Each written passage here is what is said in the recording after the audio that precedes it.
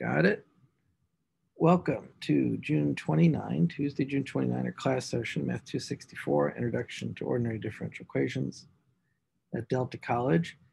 And we're coming up on really, really good stuff today, but we're gonna slug through some hard calculations. Uh, these are, you know, major topics that are on my mind, but we are not going to talk about convolution today probably get into it tomorrow. But I'm just saying this is what's kind of left to be done in the course. And I think, even as it helps you address tonight's homework, I think that the major skill right here is prepping and juggling constants in Laplace transforms. So yeah, this is in the context. Everything here is in the context of Laplace transforms. So Laplace transforms, all of our analogies that we've thrown out so far, it's like a machine that eats differential equations and spits out answers, particularly linear differential equations, even linear systems you might find in a future class, and differential equations, linear differential equations with complex or messy driving functions. So when we advance to second order equations today, we're going to look at sines and cosines, some more advanced constant juggling, and more advanced use of the second shifting theorem. I did post, I think I posted two emails last night, and one of them, I think the second one was called Second Shifting Theorem Trick. That is a key email. It has, you know, content that I want you to process. So make sure you read through that, but we'll certainly give a demo of that today. So let's just do some problems. That's the only way we can do this. And the other thing I want to say when we do the problems is this is very, very visual stuff because sometimes it's hard to check in the traditional ways like differentiating and checking. But we can always check by visualizing the solutions, the pieces of the solutions, comparing them against each other. So that notebook, the Mathematica notebook I gave you called Dirac and Heaviside Forcing, that is a key notebook. Okay, let's jump right into this. I'm going to show you a cute little uh, partial fraction decomposition trick. So let's pick up a very innocent looking equation. Second order.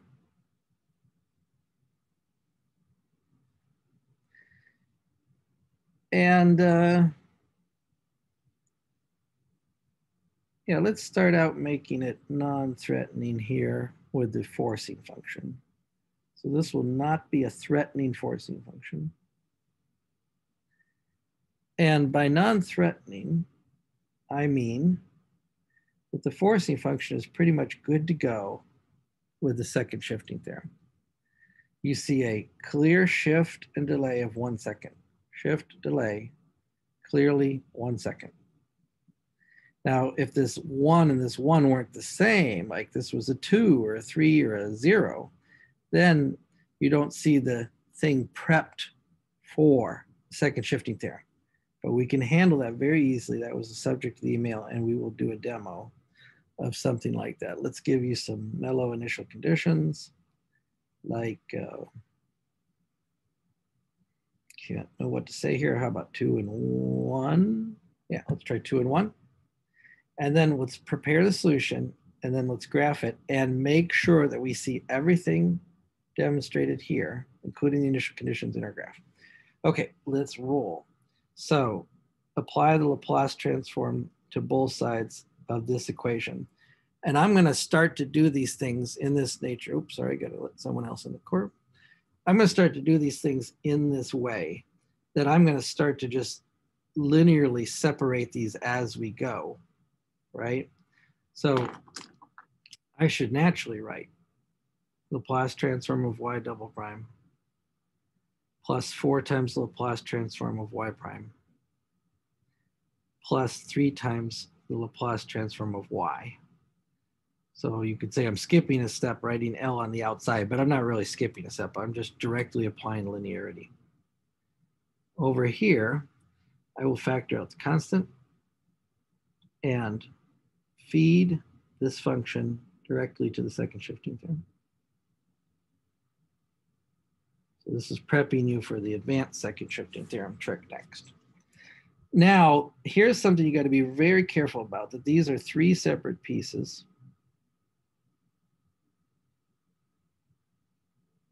And remember, you pay for the Laplace transform of a derivative by working in the initial conditions. But the thing that people sometimes totally screw up is don't forget that there's modifiers outside here like a four. So in the first term, it's not hard to say s squared minus, I'm sorry, s squared L of y minus s y at zero minus y prime at zero. That's this piece right here. And usually when you get used to this, you don't have to do this. You just, I don't write y of zero and y prime of zero when I'm doing this. I just bring these numbers in. But that also means I have to respect these signs. If one of these was minus, that alters the sign here. So you can bring it in directly if you want. I want you to see me write the formula for this reason.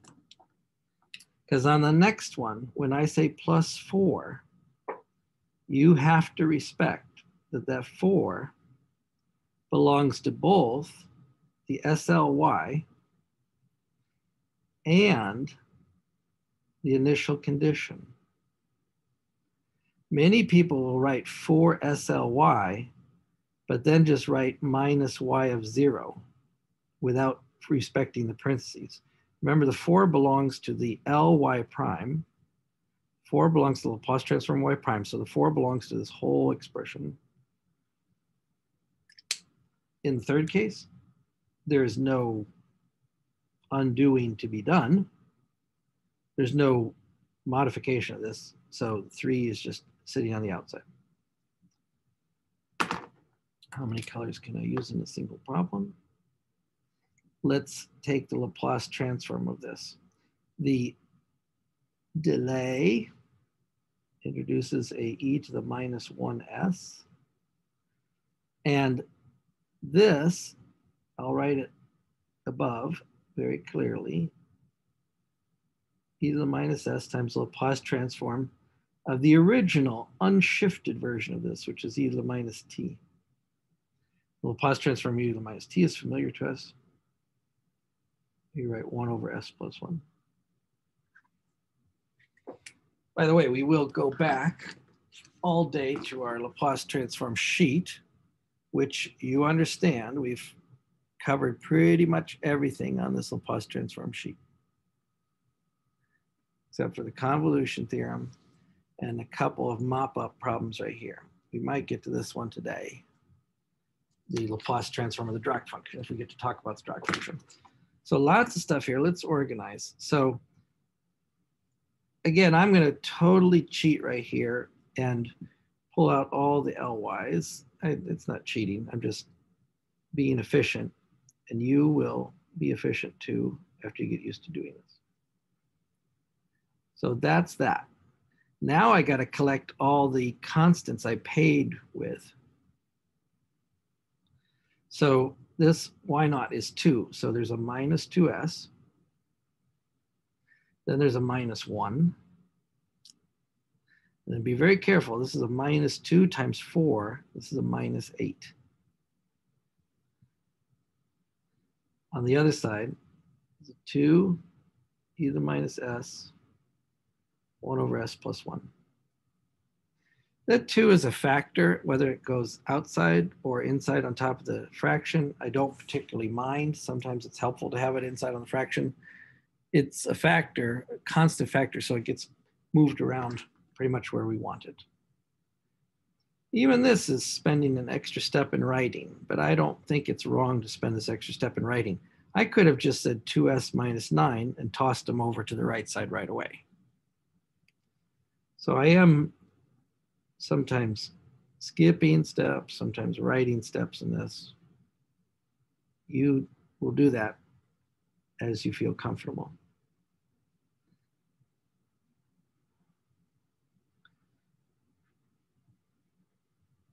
Okay, now here comes the dividing and we'll get you this nice partial fraction decomposition trick. So what we're looking at is L of y is 2s plus 9. By the way, we've been previewing this in our minds. We already knew that this factored into s plus 3 and s plus 1. But we divide both terms on the right side. And I think I will send the 2 inside to help me work this out. We'll see if it helps. But the difference inside the exponential wrapper is s plus 3 and s plus 1 squared. Okay, now I'm ready to execute partial fraction decomposition. And I've said to you that I don't, you can show me, you can just show me the result of your partial fraction decomposition. You got a calculator, you got Mathematica, no problem. But sometimes it's not bad to practice doing it yourself. So I'll do this one myself with some shortcut methods uh, you always want to check your work anyway, too, right? How do you check your work after you do the partial fraction decomposition? You can add them together, right? But I'm going to use what people popularly call the cover-up technique here. I'm not a great fan of the cover-up technique. There's nothing wrong with it. I personally usually prefer to cross to multiply across and get rid of fractions. It's just my hatred of fractions. So the idea here is if I plug in minus three right now, I screw up both sides. But logically, uh,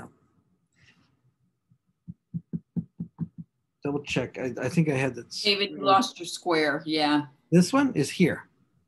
I'm going to work on this one first. Oh, I'm sorry. Okay. No, no problem. Gotcha. Yes, but I will have to mind that square.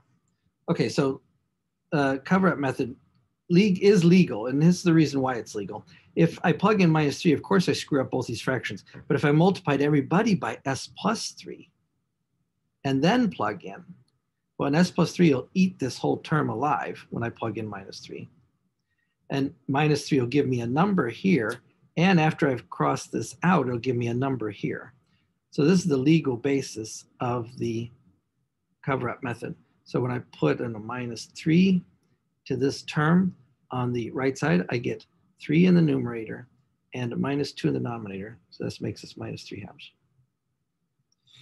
Now, same speech when I plug in minus one now, pretending I'm multiplying by s plus one. So this would eliminate this term. So s plug in minus one, I get seven over two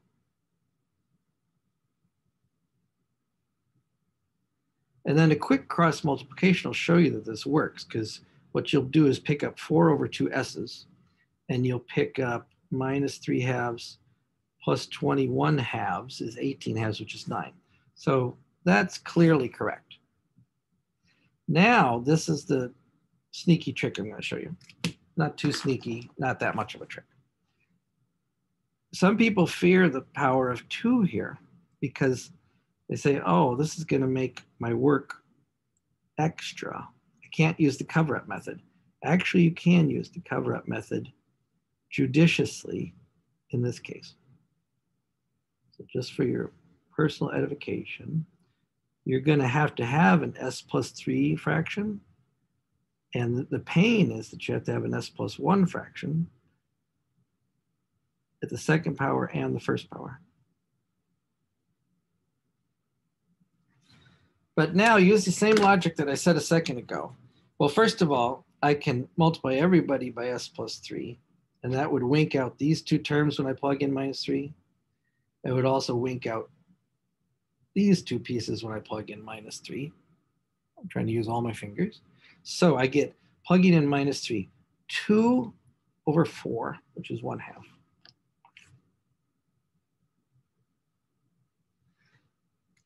But now when I want to deal with the s 1s, I do not get to do that twice. I can do it once. Let's pretend you multiplied everybody by s plus 1 squared. That would wink out these people. It would wink out this. And it would wink out this. Now you can plug in minus 1 and get 2 over 2, which should be 1. And now comes the trick. So everybody's got their favorite partial fraction decomposition tricks. You think you're up Math Creek because you've already used the minus one card. Oh, let's try something entirely different. Let's think about this logically. You only have one constant missing. And these are two rational functions. These are two rational functions that you're demonstrating are equal. But think about this. If two functions are equal, then they're equal at every point that they're defined. So now the sneaky card you can play right here is just pick a number. Just pick a raw number. And it's not going to be pretty, but let's try s equals zero. What does the left-hand side become if s is zero? Two over three times one, which is two thirds. And what does the right-hand side become if s is zero? One sixth plus one plus c. And by that method, maybe you've seen this before, maybe you haven't, you can now determine what C is. 4, 6, 1, 6, 6, 6, 7, 6, minus 3, 6. Is C minus 1 half? I think so. Now, there's absolutely no reason to gamble with this, right? So what we're going to do is, uh, you know, just yank up your calculator or yank up your uh, oops, sorry, press the wrong button. Ink up your Mathematica notebook. Uh, I won't do this all day today. I'll just say, for once, let's practice using this function apart. 2 divided by open, close, open, close, open, close, raised to the 2 s plus 1. Make sure everybody's seeing this. Yes, they are. And s plus 3. That's right. Did I say that right? And I want Mathematica to do this with, I'm missing a parenthesis, am I? Nope, I'm okay. With respect to s. Mathematica is smart and dumb, right? You know, it's very smart that it can do this instantly, but you have to actually tell it what variable you're using. So do I have my numbers? I have the one half minus over s plus one. Yes, I have the one over s plus one. I have the one half, yes. So this is confirmed. Okay, so I'm gonna stop sharing. I can leave that Mathematica notebook open for my own benefit, right? Sitting on the desktop. David, you don't have to tell it with respect to S. Oh, don't I? Okay, let me check that. Thank you. I okay, that's uh, for all I know, that must be a relatively new one because I thought previously I did have to do that. Okay, thank you. Uh, good. So I'm going to leave that open so I can cheat, quote unquote. It's not cheating, it's confirming. Don't use technology to do things for you, use technology to confirm.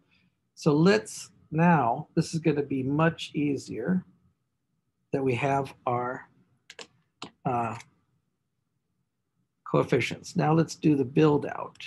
And this is minus 3 halves. I'm going to write these things really nicely. Plus 7 halves. Got it.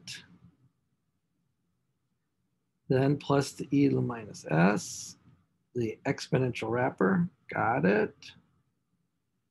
And the exponential wrapper is on one half and one and minus one half. I almost spaced it perfectly.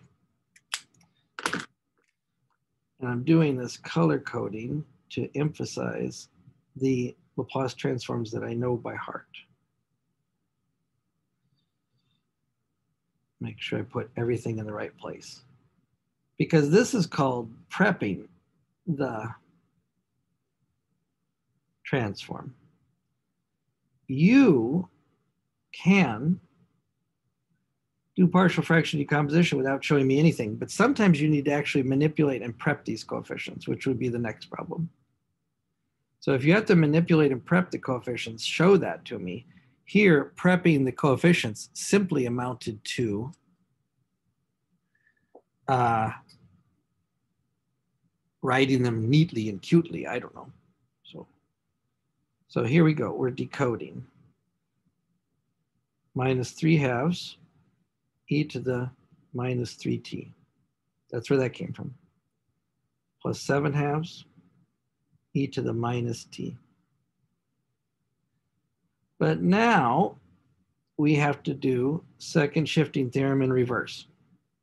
We're going to have to shift and delay. We know where each of these people comes from. For example, the first one comes from 1 half e to the minus 3t. The second comes from, oh, notice that. This is like an s plus 1 squared. So that would be an shifting uh, or exponential wrapper on the t function. Be e to the minus t times t. 1 over s squared is t, but replacing the s by s plus 1 means I struck it with an exponential. And this one right here is minus 1 half e to the minus t. So let's be very clear, first of all, that you have to decode each one of these. But now you have to respect the exponential wrapper on the outside, which says, in English, practice saying this, shift and delay. The shifting, now by A equals one second. The shifting is replacing every t with t minus one. And the delaying is not starting this until t equals one. So that's gonna require a little bit of space. I'm gonna pump up space right here to write my final answer. So here's the delay for one second. Oh, sorry, shift paper up. And now here is the shifted version of this green stuff.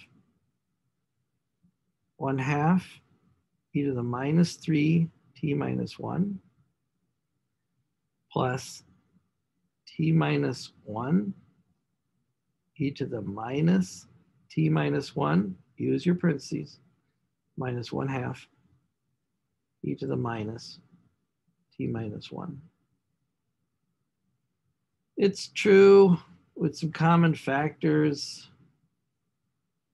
I can be bringing some of these together. These two, not this one, that's a 3T right there. But these two could be brought together. On the other hand, do I win? Do I see more by bringing them together? Not really. So I'm going to leave them there and let's go check our visual matches. Remember, I already had these two pieces decoded. Good. So I think I'm going to pull up my Mathematica notebook. Now, I can type this into Mathematica using the Heaviside word right there. It's a mess to type in, but I can type that into Mathematica, right? So, excuse me. Uh, let's go get the other Mathematica notebook. Forced damped harmonic oscillators. No, Dirac and Heaviside functions.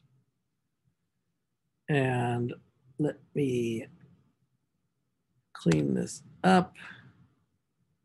before I give it to you because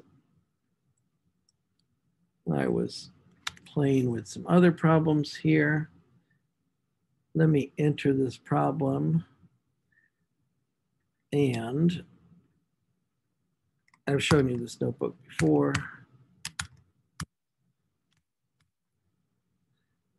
But it's got a four there, it's got a two there, no, three there. Got a two and a one. And then got it, got it, go. Okay, we can add more pieces as we go. Okay, I don't, I don't know what the state of this is, but let's share it. Share, share, share. That one. Okay, takes me to another desktop. Is everybody looking at the same thing? Yes. Can I make this words larger? Yes. Okay, so this is the notebook Dirac and Heaviside Solutions. It's a copy, so I don't want to mess with my original. So I don't know if these words apply here because I'm using a different problem. But here is where I will physically type in minus three halves, even though if it takes me a second, exp of minus 3t. I'll physically type in what I think the answer is. Plus 7 halves exp minus t. And I do any copying and pasting plus Heaviside, got it, t minus 1. That's u sub 1 of t times open parentheses, 1 half. I'm writing my fractions casually because Mathematica understands that. Not using parentheses about my fractions. Now I think I can do a little copy paste stuff here. Copy, so pop, pop, and this will be plus t minus 1 minus t minus 1, right? And end that. And I did not end the other one. So I've got syntax errors galore here. I'll have to double check that plus or minus 1 half x minus stop. I think I've typed this incorrectly. I'll just scan it and then, oh, I need one more parentheses. Okay, now Mathematica has nothing red. So it means at least it makes logical sense what I've typed. May not be what I wanted to type. Okay, but I think it looks good. So that's our proposed answer. We call it capital Y of t to distinguish from our work here. Uh, the Heaviside function, I didn't say what the forcing function was. I think I should type the forcing function in here too, because that'll be economical so I can refer to it later. T, so I'm adjusting this worksheet on the fly. My forcing function was 2 times the Heaviside function at t minus 1 stop exp. I know you could use it. Well, I'm just going to type x minus t minus 1. So I'm typing this in here so that I can just say y of t and f of t later. For example, in my numerical solver, I just say f of t instead of typing this large expression. I got the initial conditions in here. I got the coefficients 4, 3, 2, 1. Got it. And now I'm going to evaluate with my y and evaluate my y side by side. Here, let's do this first. Let's just do solution y side by side. Looks good. Notice there's a slight bend at 1, and that's when the uh, driving function changes from 0 to stuff. I'm going to run this from minus one to three to get more of a view of it. Eight seconds looks perfectly legitimate. Good. Now, side by side, these graphs look exactly the same. uh, I think I'm gonna, let's add the driver. Can I see the driver at the same time? Good, now, but the driving function turned red and the solution turned red. So let's do this as red. Now we're gonna play with the colors. Black for driver. Good, there's my driving function. And you see that little bend in the red curve right there. I'm gonna add my driving function likewise black here. This is why it pays to type y of t and f of t above. Good. But I'm, I'm, am I sure this red and blue thing are the same? So now I'm going to add the y of t to my first graph. This is advanced decorating. And I'm going to make the solution light gray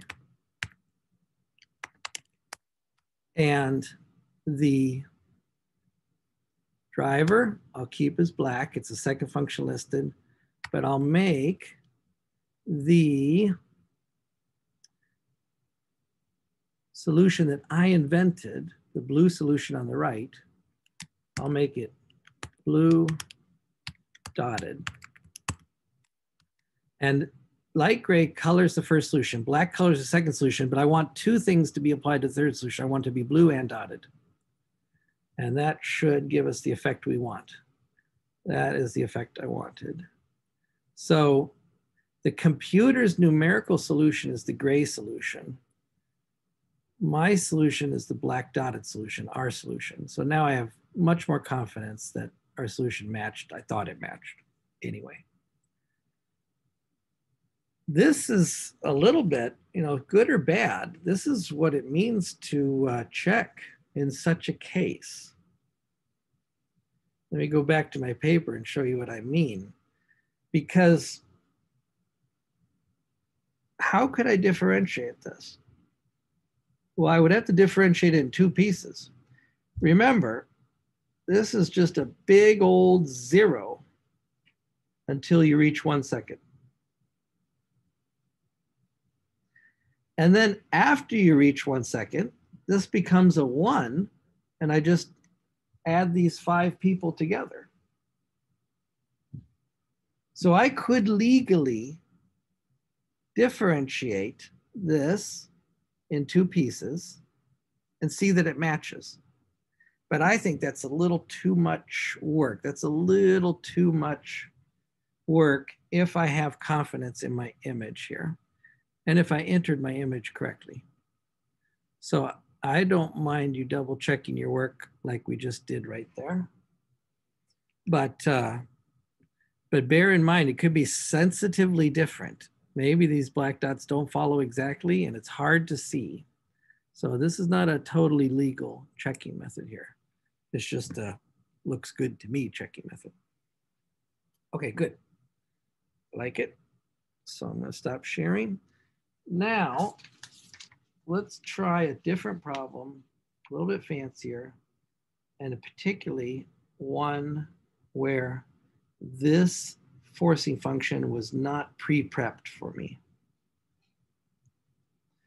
So I'm going to decide what do we have to do there? Sines, cosines. I'd like to do a problem that involves sines, cosines, right? So let's come up with another problem. Let's not make it too bizarre. And I'm trying to do something that doesn't get too weird.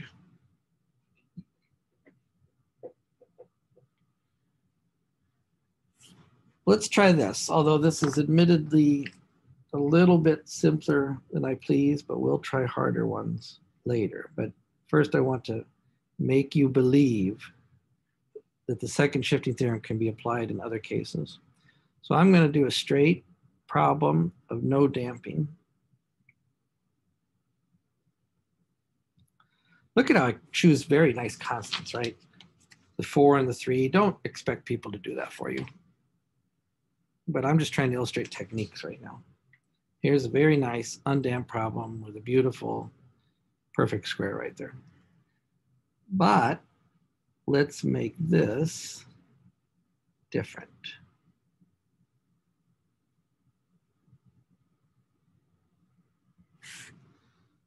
This is not looking good for the second shifting theorem.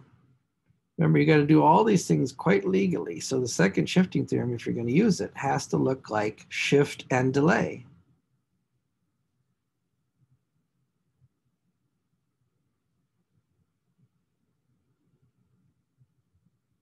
Little too crowded there, but I don't see shift and delay here. Shift and delay becomes nice in the second shifting theorem. But the point of the email last night is you can have the shifting appear here, or you can have the shifting appear here in the right context. So you could also write the second shifting theorem like this. Looks like I'm screwed up because I got no shifting right here. Well, then pay it forward.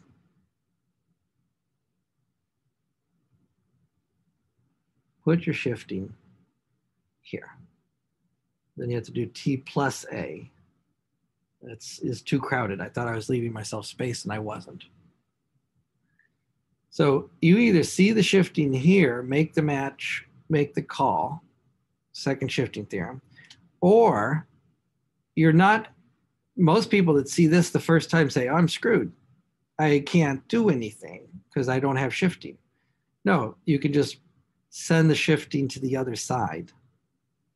And I explained why in the email last night. You need to work through that email. Okay, so that's all I'm gonna do. This is not gonna be bad at all. So I'm gonna do my L double prime, four L's. I need to assign initial conditions to this. I'll do that in a second. But here I'm gonna take the Laplace transform u2 of t times t. I wanted a fancier function here than t, but this will cause me enough trouble with the sines and cosines. I'll go for a fancier function here on the next example. Uh, we need to bring some initial conditions. How about y of zero equals, here's a good one. Let's go back to our old buddy zero and zero. Make sure you recognize how this works. Oh, by the way, in the previous example, and I did not talk about it after I told you I talked about it, right? Do you see the initial condition is two with a slope of one, probably based on my scale, but I could I could verify that in a couple ways. I could draw a line of slope one here if I wanted to. Could put slope fields in here, but that would take more work since it's a second order problem. So we're not gonna do that.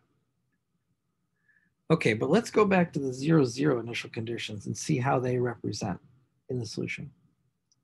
Okay, now the zero, zero initial conditions are a little bit deceptive because they make this work too easy. Because with zero, zero initial conditions, this is just s squared ly. There's no adjustments to make. Minus s y at zero, minus y prime at zero, but they're both zero, right? So I have to get my window on the right place. Sorry. Okay, now this is plus four. So because of these initial conditions of zero and zero, I could have wrapped this up in one stroke, I think. David, can you scooch the page up a little bit? Oh yeah. Yeah, sorry. So no initial conditions values here makes this nice. And so sometimes I could have just skipped that step entirely and just said s squared plus 4ly. Another thing, notice that when you apply the Laplace transforms, isn't this called the characteristic equation? So isn't this called the characteristic equation? So when you're doing the Laplace transform, you're doing the same thing you did with the systems of equations and the eigenvalues, eigenvectors. You're also doing the same thing in the E the ST method. Okay, I'm throwing too much information at you there. Now let's write E minus 2S and do the shifting on this side. t becomes t plus 2. Either minus a beforehand or plus a after.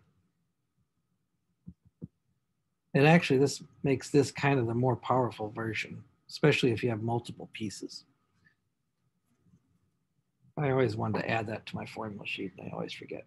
Okay, no threats here. See the minus 2s. 1 over s squared, 2 over s. So now I got my L of y, make sure I got everything visible, is no initial conditions. So this is just beautiful. Just got my exponential wrapper.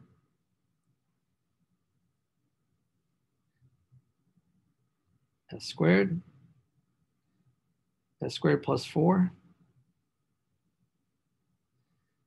and S, S squared plus four. Oh, I don't have any particularly pretty partial fraction decomposition tricks. I would just slug this out. I can use the cover up method to get some of the pieces, but not all of them. Remember when I do the partial fraction decomposition here, I'm going to have to have an S squared piece, an S piece. Uh, somehow I predict that S piece dies. And an S squared plus four piece. And in fact, because of the balance right here, I think we could predict those constants easily. Here I have an S and an S squared plus four piece. But what goes on top here is a constant, a constant, but a line goes on top of this. A constant and another line on top of this. Don't have to write all these constants, but you can do these separately. Now let's see, show you what I mean. Oh, excuse me. Just hold you by the hair there, sorry. Uh, because of the balance and because there's a one here, treat the s squared as if it was just a single variable. I think I just need a one fourth here and a minus one fourth here, and that would be enough. Can you test that? Cross multiply. Uh, the s squareds drop out, the one fourth times four becomes a one. So I'm literally saying b is zero and c is zero in this case. And that was because of the balance between the s squareds. Here I'm not gonna get that break, but maybe I could use that other trick I showed you. Yes, so with the cover up method, if I put zero in here, I get two over four is one half.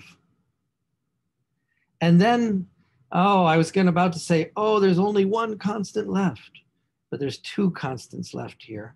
So if I did that trick like plugging in a number, I'd have to plug in two numbers to get two equations.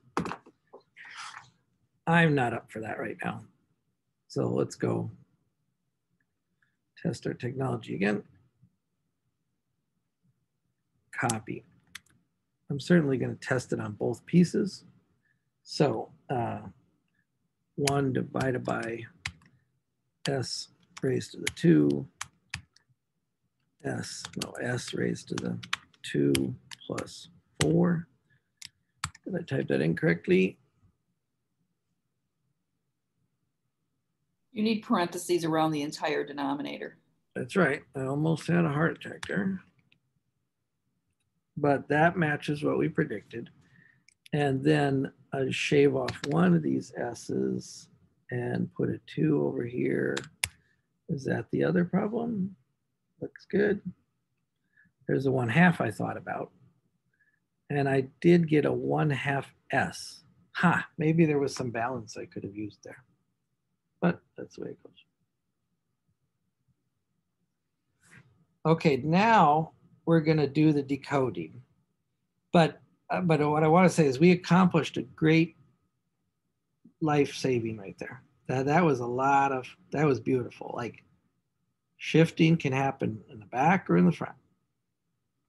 So that usually derails people a lot. Now the only thing left to understand this problem is, let's decode, shift and delay. And I want to see what that mysterious comment meant. How do these zero and zero influence my image? David, can you reshare? Thanks. Yeah, yeah, I, I'm out of that. Uh, I think, and you guys should experiment this. When I'm sharing one thing, I think you can choose. Can you choose to highlight something else? But you don't. You don't want that. You want. You know, That sort of overrode my pin because I have your paper pinned. Yes. But when you then jump in and share Mathematica, my the pin goes small again. It can be, yes. Okay, so now I'm going to decode each of these. This is the preliminary decode. One fourth T. That's what that one is. Of course, that one is not there. Then the decode on this, the preliminary decode. Now, oh, I gotta, I guess I have to prep that, don't I? Because this is a sine or cosine, no S, makes it a sine and I got an angular frequency of two, so I need a two up here. So actually I need two over s squared plus four. I have to do a little bit of prepping. And then to make the one fourth match, I need a minus one eighth. Now this is what I mean. This red stuff is partial fraction decomposition. I've made an agreement with you that you never have to show that to me. But this blue stuff, the constant juggling, that's an integral part of the problem that you're learning. So you do have to show me appropriate constant juggling. So minus one eighth, and this is a sine of 2t. Then I bring this down, which is a one half times one, one over s comes from one. Now I'm gonna do some work right here, right? Because this is, it's more pleasant though. This is a cosine transform and the s on top is all I need. It's different than this sine transform. This is last one coming down, minus one half uh, cosine 2t. Okay, we're doing good for time. This is not my answer. This is the part of my answer that's in this exponential wrapper. So now I have to shift and delay. And this is part of what makes these problems a little bit obnoxious too. The delaying, the extending all the pieces here with replacing t with t minus 2. That makes this a pain to write. So let's write it carefully and only once. y of t is, turn it on at two seconds. That's the delay part. The paper up, excuse me.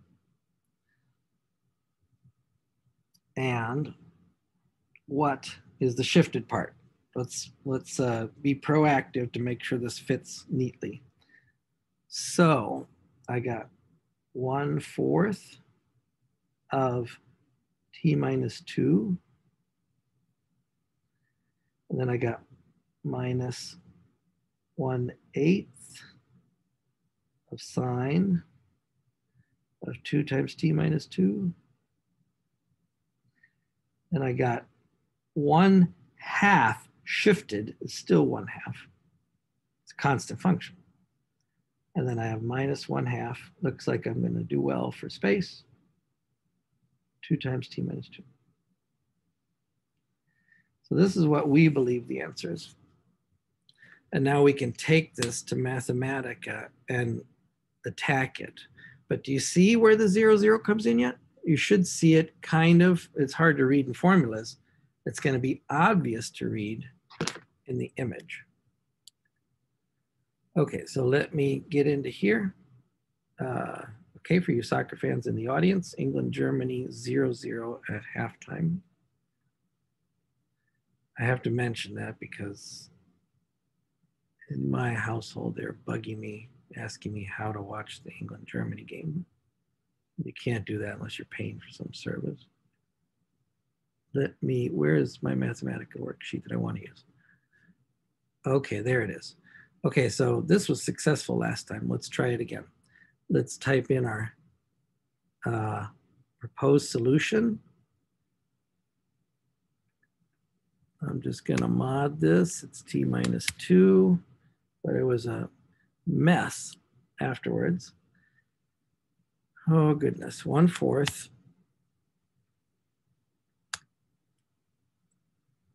times t minus 2. This is all jumping all over the screen. Sorry, I think I'm just going to stop that so it's not so cluttered.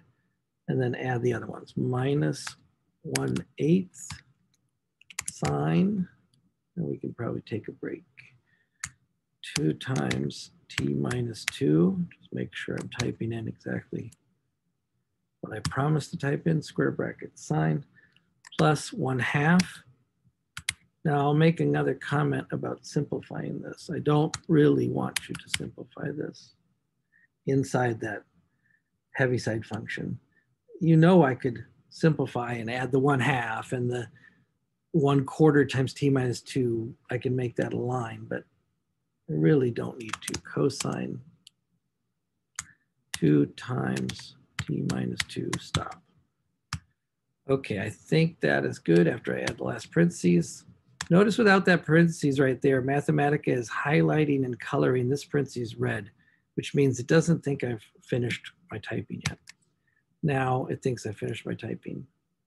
I'm gonna scan it to make sure I typed what I wanted to type. That looks correct. Okay, good. Now, uh, let me add my driving function, f of t underscore. That tells Mathematica you're defining a function. And what was that function? The Heaviside function at 2, that's how we write it in Mathematica, times t. Okay, not complicated looking.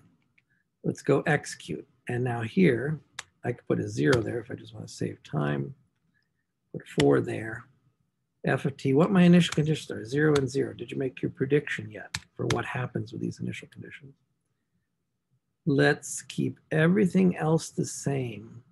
Maybe I have to modify my window, but let's just pump it and see what happens. Okay, well, this was interesting. Do you see the three functions here? Let me tell you what I see. This is secondary thing. I I don't need this right now. So why don't I just remove that? Do you see the three functions in this answer? So the driving function is f of t, that's black. So the driving function, look at that, is zero until you get to two seconds, and then it kicks in as a line of slope one. Now my units are not one to one here. That's why you have to trace this backwards and see that it goes through the origin. But that is just the line T, not turned on until I got to two seconds. So it begins at two, two. And then remember the gray is the computer solution numerically generated. And the black was the solution that we typed in with black dots. I'm sorry, with blue dots. But where is the solution at the beginning? Let me remove the driving function and remove the reference to black so I don't change my color coding. There you go. There's the solution for the first two seconds.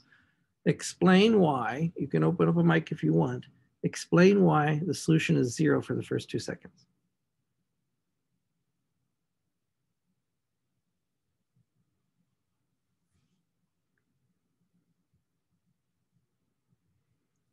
What is this problem?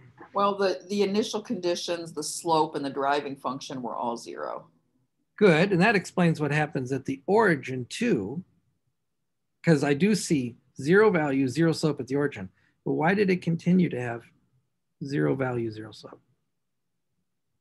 Um, because the second derivative of t is zero, your driving function. I don't know. Uh, you could be legally right there, but let's do it in a more mechanical way. This is an undamped harmonic oscillator that began what? in the equilibrium position at rest. So what happens if you put a mass on the end of a slinky and put it in the equilibrium position and resting? It will not move, right? So you got your undamped harmonic oscillator right here. And if I start it in the equilibrium position, I know I'm drawing on my paper, but I'm speaking this too. If I start it in the equilibrium position, not moving, it's just gonna sit there. It's gonna sit there for how many seconds? It's gonna sit there for two seconds until I start forcing it. And when I started forcing it, now let's put back the forcing function. When I started forcing it, what did my damped harmonic oscillator do? Well, it's gonna oscillate, but it's gonna imitate a growing line. So it's kind of oscillating on a increasing slope here. But that's very important to see that for the first two seconds, there was nothing happening. That's what that zero and zero did for me right there. At rest, equilibrium position, nobody is bothering this mass. It's not gonna move. But then I start pumping. Well, I don't, I can't call it pumping. It wasn't sinusoidal, but I start applying the forcing function and the system responds. So we're always looking to visualize things like this system responding to the input, the forced response. The free response in this problem is the first two seconds, in a way. If I'd never bothered this system, it would never start moving. I didn't bother it until two seconds. Okay, that's a really good thing to observe. Uh, where, where, where are we? David? Yeah, go ahead if you don't want to do this, I understand, but can we play what if and change the initial conditions? Oh yes, that, I know you don't want to. It's very simple to do, and that's why we like to use Mathematica. So let's set the initial conditions first in a mellow way at one zero. Now that means my solution won't be good anymore, right? So let's just look at then solution and driver. Right. So I'm going to cut out my solution and cut out the blue dotted and put back the black and put back the driver. So there has got to be the same inclined oscillation because remember, there's no damping in this equation ever. But for the first two seconds, I almost get a cycle. Let's put this at a slightly smaller initial condition. But still, I've got, and remember the initial part dies out. Look at this part looks the same as my solution actually, because if I added my solution in here, the forced response portion would still look very much like that. That's not the same, is it? No, but it's like it. Uh, let me do one more thing. Let's add some velocity to this. Yeah, now that affects the initial inclination, one fourth and minus one but still I got to imitate my driving function, which turns on in two seconds. Yeah, so action is happening for the first two seconds. And the first two seconds of action is undamped oscillation. What might be even cooler is to mess with this factor right here. Let's pump that up to 16. Now I get more waves in the initial response and a little bit less incline right there. Now I'm just gonna go totally crazy with that damping. Ah, now I see damping for the first two seconds and then damped oscillation taking off at an incline. Oh no, that was a very good suggestion. You can play with all kinds of things visually after you've set up this Mathematica uh, machine. Okay, that's very good. So let's say, let's go back at, and then we're gonna pick up some fancier sine and cosine action, maybe. I think we did what we wanted to do there though. Maybe we'll bring in the Dirac function after we come back from the break. So let's come back at 107. Okay, so I'm going to go back to my paper, but that's an excellent suggestion. You can always play with things like that. Okay, I'm going to mute my microphone while I take a break, and we'll be right back.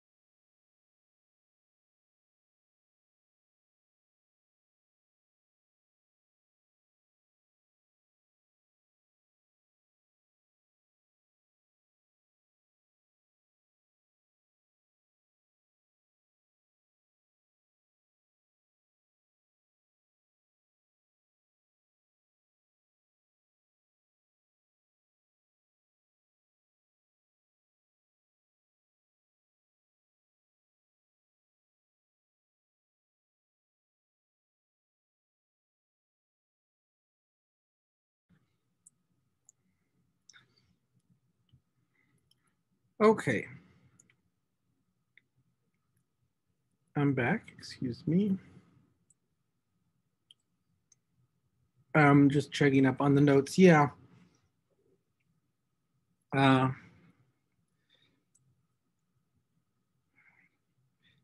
yeah, what we call U of A of T, you can just, Mathematica defines the Heaviside theta function to be the unit step function at zero. So to execute a unit step function at A, we just say T minus A, that's right. Okay. Got that. Anything else good? I mean, there's no way I'm to write this in a problem, right? Let's, this is good enough. Some people do write when they do their works with just a standard function at zero t minus a. So another another possible notation. Some people write that. Make sure I have enough parentheses in my parenthetical comments. Okay, so where should we go right now? Let's take a look at what we're looking at there. We did do a little sine and cosine action. I think we have to do one more serious sine and cosine action, and then we'll introduce the Dirac function to show you that the constant juggling can be a serious pain. So let's pick a problem out of the book. Where's my book? That's really strange. I left my book somewhere else. So, oh, you know what? We have the electronic book, don't we? So let me pull up this book. I want to see if there's a problem I can do with some heavy duty constant juggling.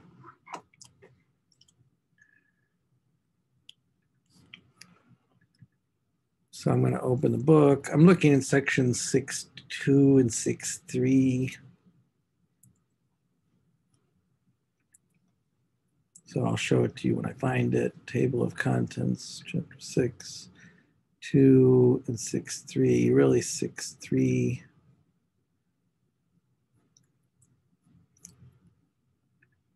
Exercises.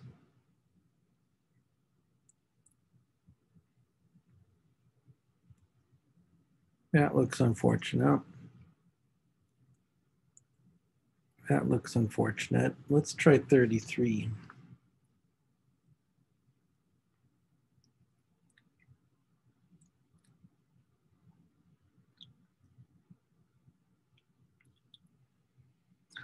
Really, you're only going to love this if you love partial fraction decomposition and constant juggling.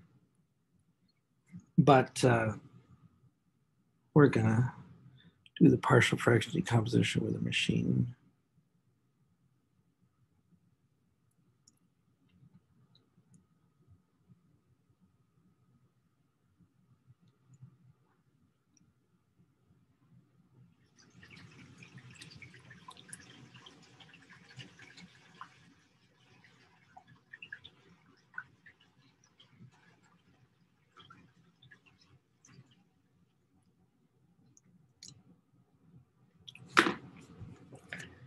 Okay, do I have it copied correctly?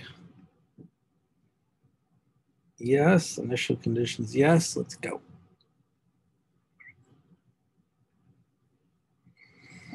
Okay, now here, let's go into, I'm gonna keep numbering my pages.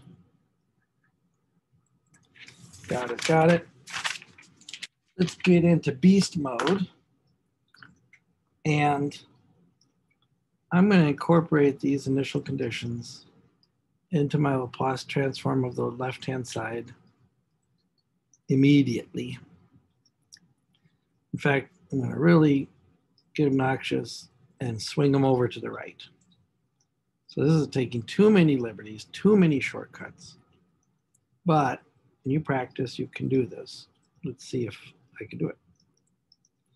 So I recognize that when I apply the Laplace transform, I'm going to get the initial condition. Um, I'm, I'm going to get the characteristic equation here. That's what I'm ready for. Now I got to see what I had to pay for the constants. In the second derivative, I had to say minus sy. So when I slide it to the right side, it's going to be plus sy at zero. Then I got to do minus y prime at zero. When I slide it to the right side, it's going to be plus y prime at zero. Here's the dangerous one. There's a four that modifies the y prime. So it's going to be 4s times ly, got it, but it's also going to be subtract 4 times y at 0. So when I swing it to the other side, it's going to be plus 4 times y at 0. So there, I've applied the Laplace transform and incorporated the initial data. That was dangerous. I, I don't, you know, practice doing that if you want, but make yourself notes as you go along. Now, I'm going to do this Laplace transform right here. At the 20, on the inside or outside, I really don't mind. I'll probably bring it on the inside in a second. e to the minus 2s times Laplace transform of sine t, because I'm applying the second shifting theorem. I convert this to the exponential envelope, and I just had to do the sine of t transpose. Okay, so now I'm ready to go. Again, let's save some space. I'm gonna swing this over to the other side. This is an S plus six. Bringing the quadratic on the bottom. The quadratic does not factor.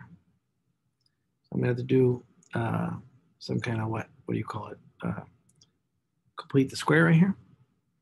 So now what do I got right here? I'm going to keep the exponential envelope here. I'm going to swing the 20 inside in a numerator. And my denominator, remember sine of t, here omega is 1. So it's going to be s squared plus 1. That's what it would be right now without dividing by s squared plus 4s plus 9. So I did shorten up this work considerably, maybe more than I should have.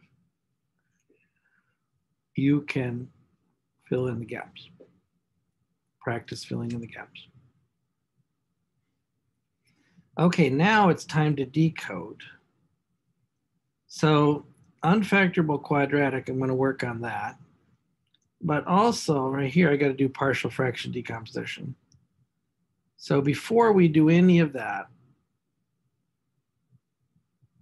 yeah, let's just go get the partial fraction decomposition.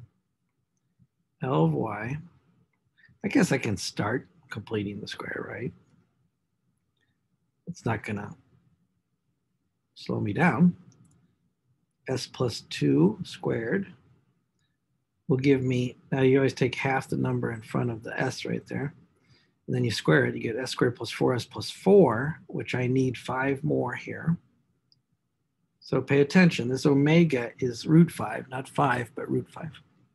Sorry, move the paper up. Here's an s plus 6. So there's going to be serious constant juggling right here. I got to match the s plus 2. I got to match a root 5 somewhere. Uh, this I'm going to take straight from machine and I hope I left myself enough room to write it.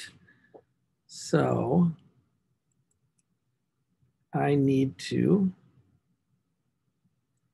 go to my partial fraction decomposition scratch work, which is right there. And you're seeing it, and that's good. So this is a mouthful to type in. I guess I could over type here, but I'll just type a new line uh, s squared plus 1, s squared plus 4s plus 9. Just do some modifying. s squared plus 1. Got it. It looks correct? And this is what machine responds. Minus s plus 2, s squared plus 1. Going to be some juggling going on there. And this one's going to require more. Plus s plus 2. s squared plus 4s plus 9. Okay. Looks good. Um, I wrote on the paper. I'll come back to my paper now and do the advanced constant juggling. Excuse me. Okay, I got to recover my paper. Here we go. Yeah, so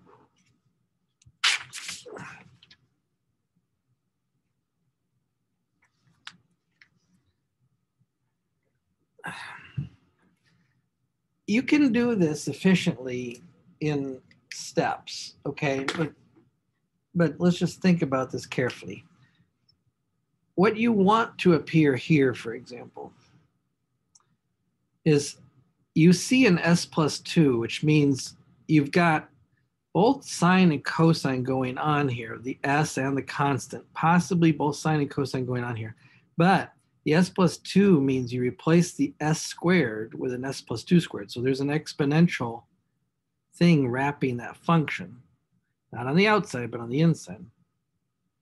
So you need to see an s plus 2 appear on the top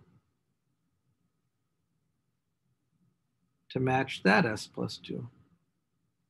Now you've done a shifting of plus 2, and you can recognize the exponential that you used here.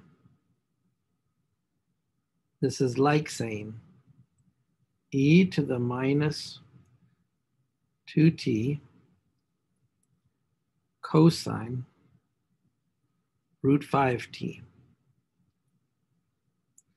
Because s over s squared plus 5 would be cosine root 5t, but shifted transform means you had an exponential in front of that cosine.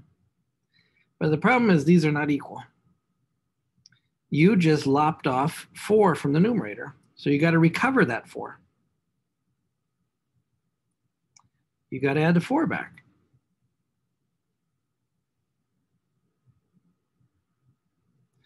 But you don't want a four up here. Certainly I could write a four up here and recover my four, but you don't want a four there. You want a root five there. So how, I don't want a root five. I don't want s plus two plus root five. I want s plus two plus four. So I insert the four and remove the root five.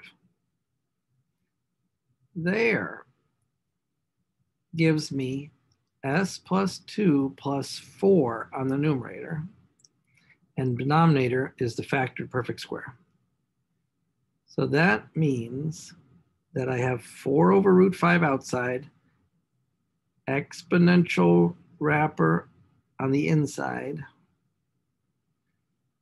sine or cosine, which one? Cosine belongs to the S, sine belongs to the constant.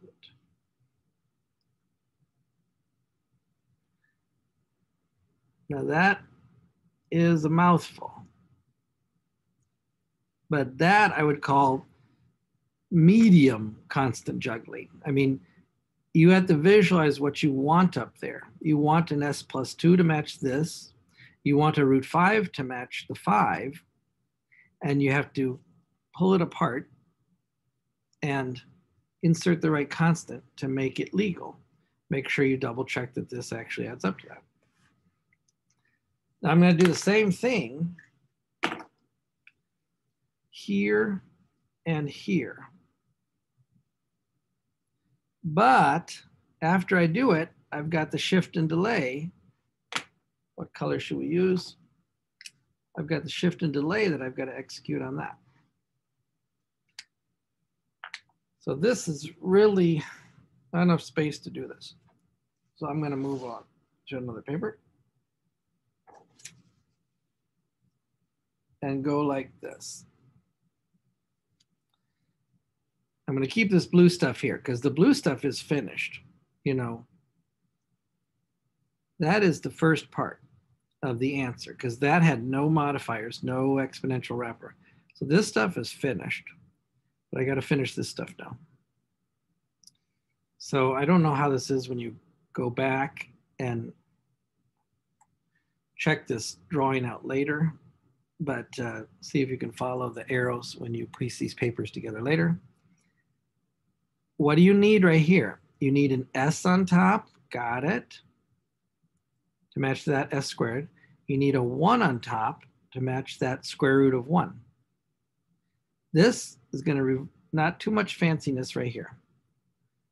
The minus sign does belong to the S. So I'm gonna pull that apart like this. Minus S over S squared plus one.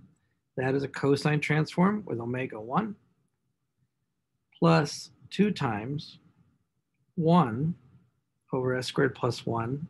Remember this is one squared and this is one right here. That is a sine transform. Okay, so now I've set this one up with a constant juggling right there. Now let's bring this one down. Maybe I should add some directions for people.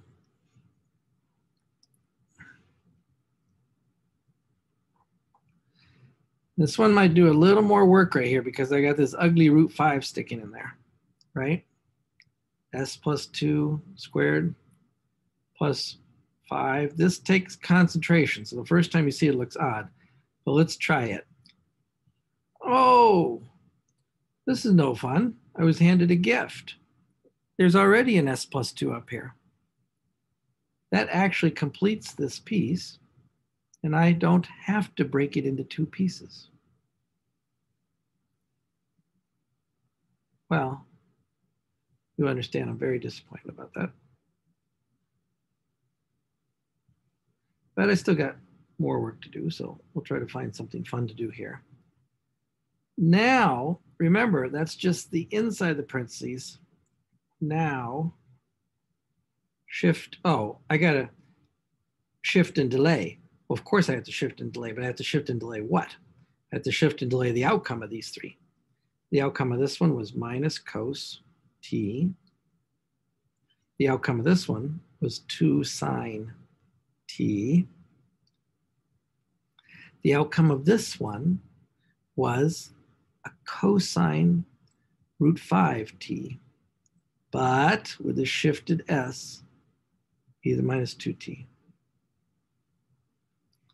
Now I have to shift and delay this. And now I'm ready to write the final answer. So that paper is going to go away. This is number four. Got it, good. And here's my answer. I might have to actually write the answer on two lines. So first I'm gonna write that part of the answer. Rewriting that part of the answer is e minus 2t. So I'm going to be generous left to right and use two lines to write the answer. That way I don't try to cram things.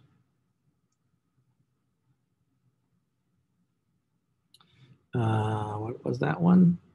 e minus 2t sine root 5t. Okay, good. And then to the next line. So shift and delay this.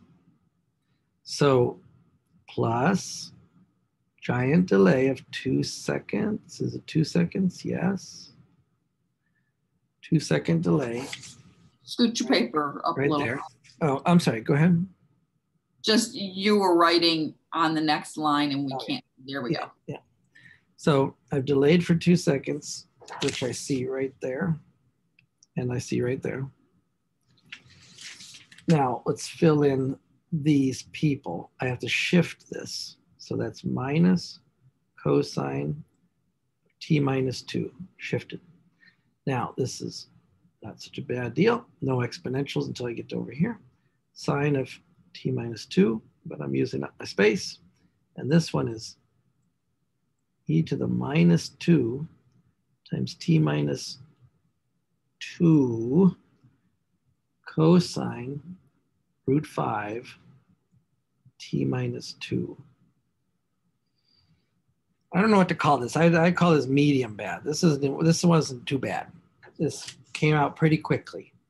On the other hand, part of the reason it came out quickly is because I skipped massive steps in here. You know, you could write for several lines here.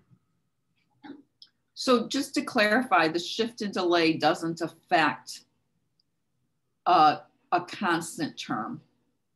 Correct. Uh, well, let's put it this way. If there was a constant term in there of five, you will delay it.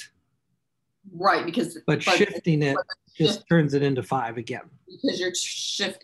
Think of shifting a horizontal line to the right or left. Yeah, you're just moving that horizontal line okay. two seconds to the right. So. So the delay affects it, but not the shift. Yeah. So what do I got here? I need a nice large parentheses, nice large parentheses. Uh, I guess I'd like to see this graphically. Why not? I don't think I'm going to type this in. I'm just going to have the machine graphically show me the answer and the driver because uh, I don't want to type this in right now because I want to move on to something else. But this was a medium nasty one. I think the only thing I think you should think about this, like this is where you're working right here. That took some thoughtfulness. And if you have to do that three or four times over here, that takes some effort. Okay, I'm just gonna type that thing in just to see that it looks like what I hope it looks like. So let's go to a notebook that we have, the Dirac and Heaviside notebook, that's right. Open it up, go find what desktop it's sitting on, which is right there, that's right. Okay, so I'm gonna not type in my solution. I'll skip that part. I'm gonna type in my driver, which was Heaviside at t minus two times sine of t minus two with a 20 hanging out somewhere. Got it. And now let's put in our problem, which was a four here and a nine here and initial conditions of one and two. And let's see what happens. Okay, the 20 is really wrecking things here, isn't it? Uh, let's make my solution red. Oh, yes. Yeah, let's make my solution red. Uh, can I show this 20 thing going on? But then it's gonna like minimize my solution maybe. Let's find out. That's not too bad. See at two seconds, a sine wave of amplitude 20 kicks in. Notice what happens for the first two seconds. This is a damped harmonic oscillator. It is underdamped if I take out the f of t. It is underdamped, but I don't see the oscillations here because that damping is pretty tight, e to the minus 2t versus sine of root 5t. The damping kind of dominates. Well, maybe if I showed it a different scale, I'd see a little bit of that oscillation. There's a little oscillation right there. But then two seconds kicks in. Let's take out those decimal places. When two seconds kicks in, then here comes my driving function. And what must my solution do? My solution, like a zombie, must what? Imitate and lag the driving function. Isn't that interesting? Zombies must be the horror movie equivalent of forced responses because what do they always do to the humans? They imitate and lag the human. And different zombie movies have zombies that move at different speeds but they're always kind of imitating and lagging the humans. So now don't don't have any misunderstandings. If I really was concerned about my solution, which I need to do something else right now, but uh, I could type in the solution very carefully and see that it matches Mathematica's numerical solution right here. Notice I gave Mathematica a numerical solution up to 10 seconds. Look what happens if I don't give the numerical solution enough seconds. Oh, that's not very exciting. See, there we go. What about this red thing right now? No, no, no, no. this is not imitating and lagging the black thing. What did I do wrong? I only asked Mathematica to solve it numerically for four seconds. So after I passed the four second mark, the numerical approximation is no longer valid. So make sure you're doing it enough time, about eight seconds, to make sure that the numerical approximation is valid. Okay, that's a small point you wanna observe. Okay, good. So now we're gonna move on. So you practice that constant juggling, definitely go to that handout that I created with solutions because I think that would help you learn some things too. Let's look at the Dirac delta function. So I want to open up 6.4 so we can concentrate on 6.5 next time. We just, we have certainly enough time to open this up, maybe do a problem.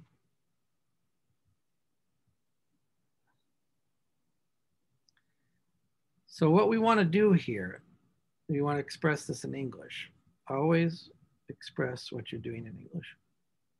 What we're going to do right now is take the concept of on off to its extreme. That's one way to look at it.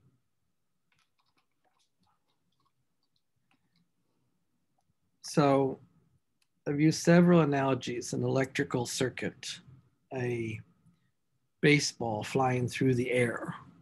I could consider the baseball to be a damped harmonic oscillator under certain conditions, but uh, that's, not what, that's not what we need to say right now.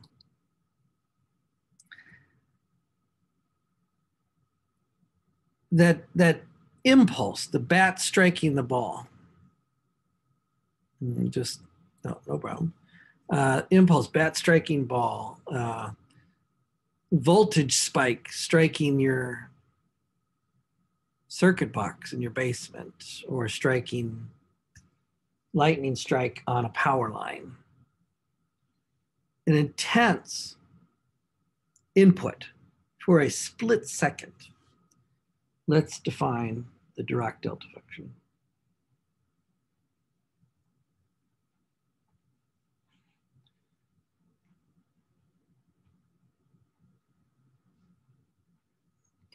again, people sometimes call this the Dirac function, they call it a Dirac delta function, impulse function.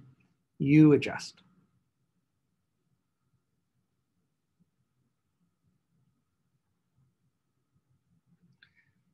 Delta at A, and sometimes people use different notations. But I'm going to mirror the same notation we use for the Heaviside function. T is equal to zero if T is not A, and infinity if t is equal to a. That's already a little bit fishy and a little bit suspicious. What do you mean the value is infinity? As an image, this is what I think it looks like.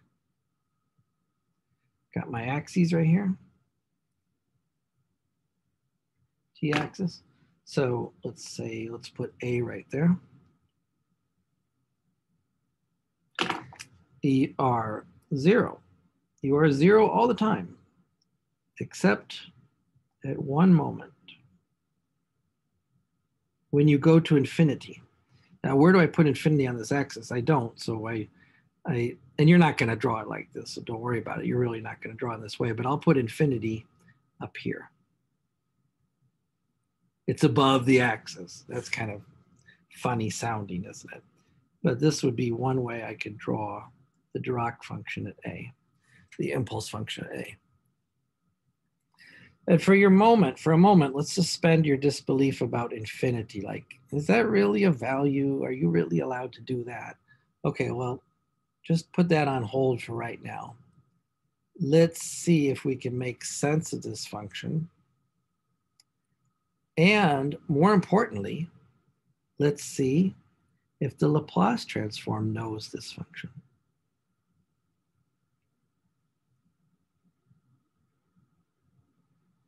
Because let's be pragmatic.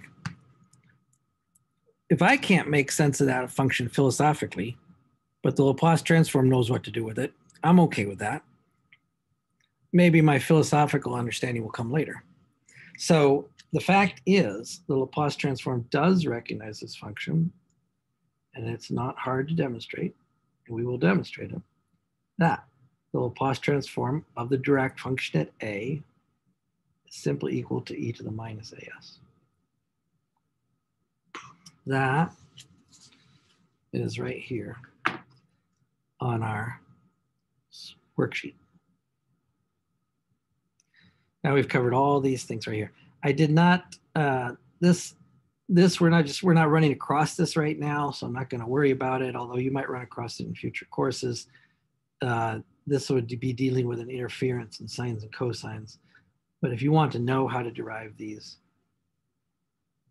the derivation is on website it's not impossible or hard it's just something we don't need to do right now so in fact, I cannot find a problem in the book where he uses these two. At least I haven't seen one. I don't think I've seen one.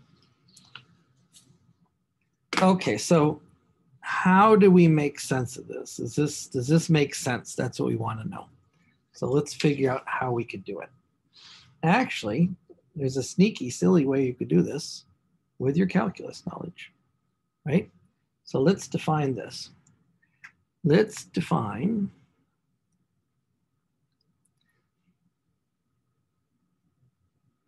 delta A epsilon. Now that's a Greek letter lowercase epsilon.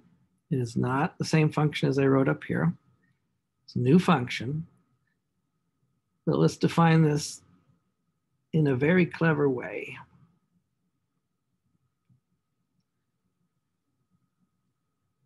UA of t minus UA plus epsilon of t times 1 over epsilon. It's got so many Greek letters in it, so many letters, in fact, there's not a single number in this, that it looks mysterious, but it's not mysterious. Let's, let's talk about it. First of all, you know that UA minus UB means turn on at A, turn off at B. So that's going to be looking like this. And I'm, I really intend epsilon to be a tiny number, like a tenth, a thousandth, a millionth, but I'm going to exaggerate the scale here. At A, I'm going to turn it on. At A plus epsilon, sorry, move my paper up. I'm going to turn it off. So this distance right here is epsilon.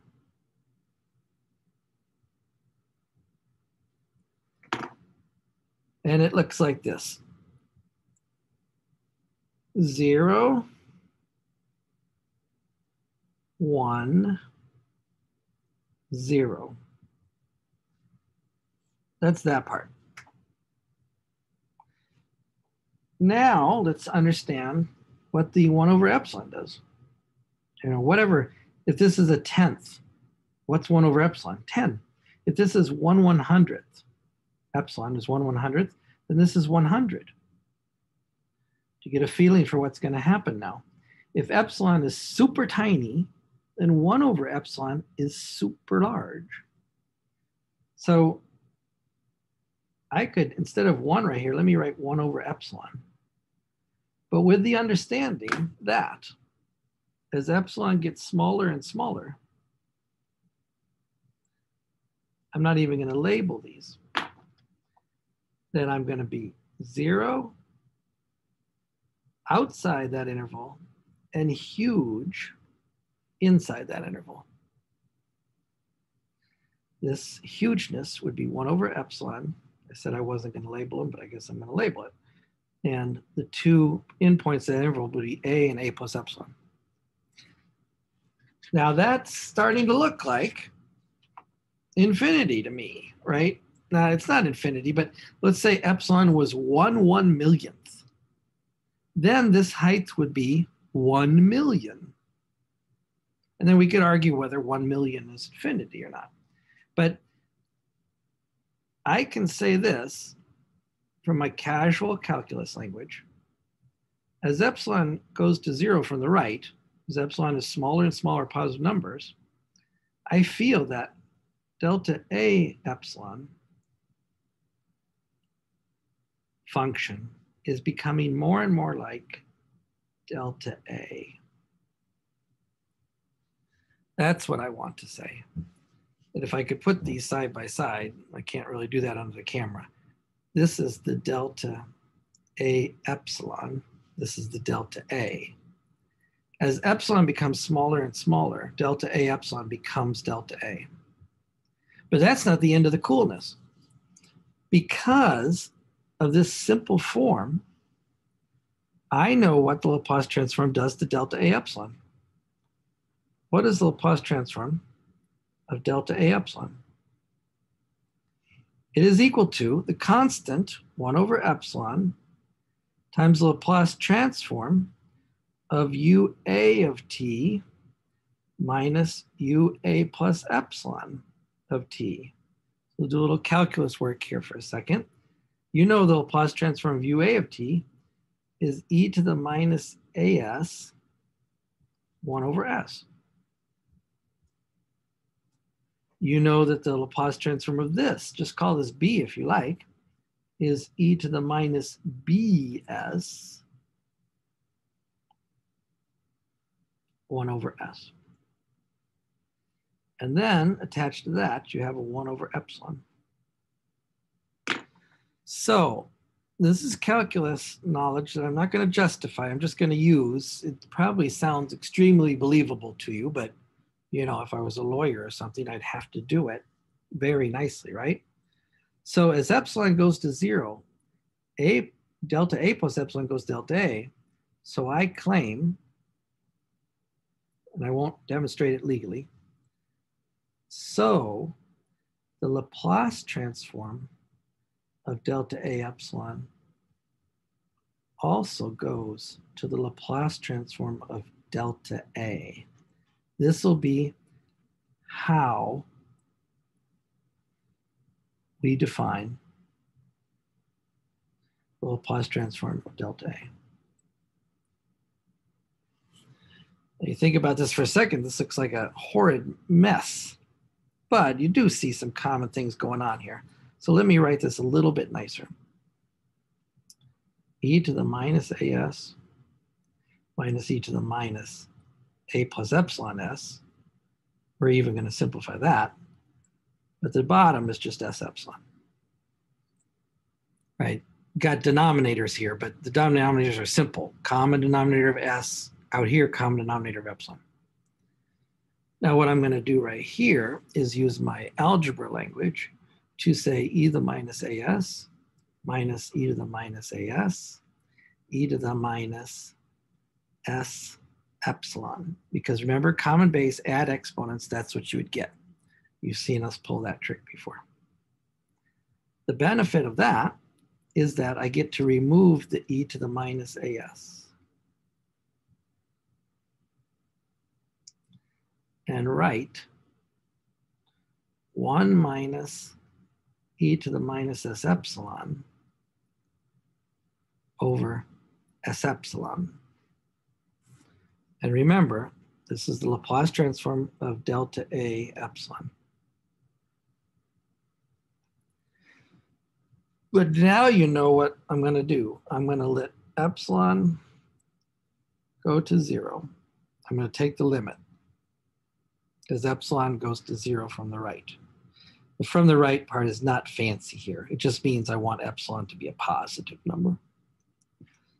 So what do I got? Epsilon going to zero. Oh, zero in the bottom. Whoops. One minus one in the top. Oops. L'Hopital's rule epsilon goes to zero plus. This e to the minus as has nothing to do with epsilon, so it just sits there and watches. Right? But now I use L'Hopital's rule and say, if I don't know this limit, if this limit is indeterminate, I can take the derivative of the bottom with respect to epsilon and take the derivative of the top with respect to epsilon.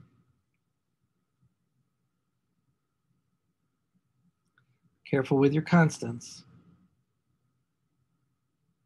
Epsilon is the variable here. So the derivative of the top with respect to epsilon bring down a minus s.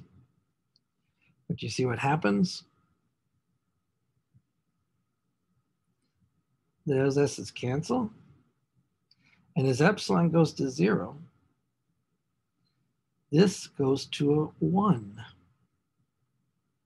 And all that's left is this person that was sitting outside. So now we've demonstrated that the Laplace transform of the impulse is e to the minus as. Awesome. Laplace transform understands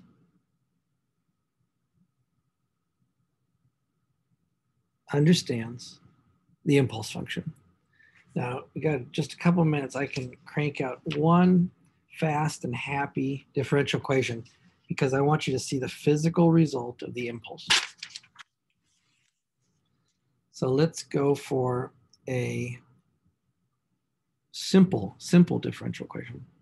y prime, let's go back to our friendly neighborhood exponential decay. But then let's take an impulse at three seconds. And give some initial conditions, well, one initial condition, one derivative here, mellow initial condition, y of zero is, I've used a two, a three, why don't I use a four? Okay, quick execution, plus y prime equals minus two Laplace y plus Laplace impulse at three. Very quick execution, beautiful picture. SLY minus four that's the compensation minus y naught plus 2ly when I bring the ly's to this right left side. And here's e to the minus 3s. And now let's look at what Laplace transform becomes from a what? Algebraic point of view. I'm sorry, what the impulse becomes from an algebraic point of view. From an algebraic point of view, What's this e to the minus 3s? It's an exponential wrapper that's going to accept the 1 over s plus 2. So first I have 4 over s plus 2. And then I have the exponential wrapper on 1 over s plus 2. But this is a first order problem, so it's not exciting, but I want it to be visual, right? So now, no constant juggling involved here. This is 4 e to the minus 2t. And this was from e to the minus 2t, but I got a shift and delay. Shift and delay. So the delay is three seconds.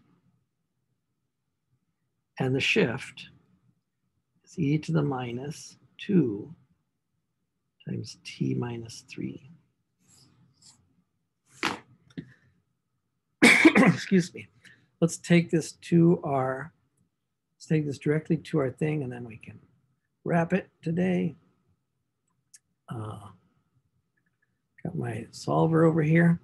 In fact, I think I could use a direct solver and I could type in my equation. I could give this the full treatment. Uh, and here's where you meet the Dirac function. Mathematica calls delta A the Dirac function at t minus A. So that's delta sub three. That's my driver. Oops, sorry, I want to add my proposed solution, which was not hard to type in, 4x minus 2t stop plus Heaviside. Dirac function and Heaviside function always work together. And tomorrow we'll tell you exactly why that seems to be the case. It's not a coincidence. Uh, but you saw the Dirac function was made out of Heaviside functions, so maybe that doesn't seem like a coincidence to you. X minus 2 t minus 3 stop stop. Okay, got it, got it. Make sure I'm keeping track of that.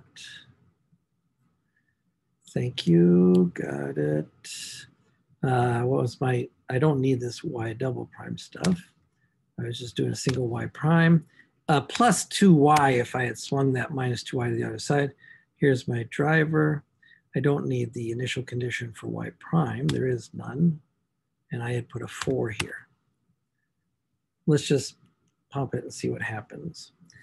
Okay, not a remarkable picture, but I do have a crazy scale here. Let's drive this down to minus 5 to 5.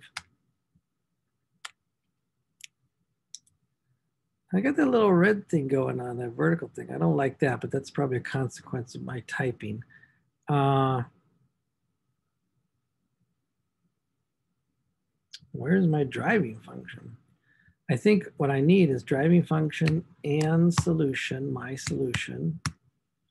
Got it. So I got their solution. I got my solution. No. So I didn't execute some line here. That's what this means. Okay, and black. And let's make mine blue dotted again. And let's make the machine solution light gray again. Something is not happening like I want it to happen yet. What is this black f of t? f of t is the Dirac function. Oh, now I see what's going on. Uh, yeah, the black line is the Dirac function, but Mathematica doesn't know how to graph infinity any more than we do. So what is the Dirac function? It's always zero, except at three. And what happens at three? At three, this solution gets a kick. Let me remove the driver. Just look at my solution my solution and the machine's numerical solution. Notice it's my solution that has the blue dots with no vertical line, but the machine, tries to connect the dots. It's reminiscent of what calculators do. What kind of problem is this? This is straight exponential decay, right? And then by the time I get to three seconds, the solution is very small. But then I take a hammer and I strike this solution. And is it a coincidence that the striking rises me to level one? Takes a one unit jump. I will have to think about that. But then what happens after the lightning bolt strikes? I go back to exponential decay. In fact, if I really wanted to have fun, so permit me to do this, as you said, we could experiment with these. Let's put in a second order problem right here. Dirac function and now my solution is no longer valid. So I'll remove that and I'll remove that and put an F there. And no, I'm not even gonna put an F there because all we don't, we don't see anything. So let's just look at solution in red. Oops. No, I didn't execute something. Okay, got it. Got initial, oh, I didn't have initial condition, y prime y prime at zero is one.